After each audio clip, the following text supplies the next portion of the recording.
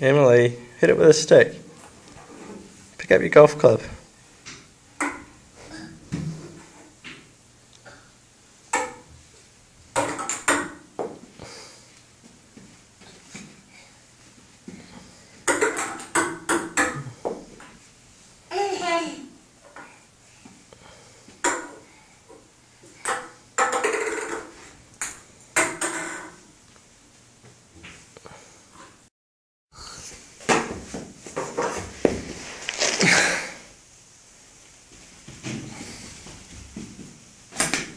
oh.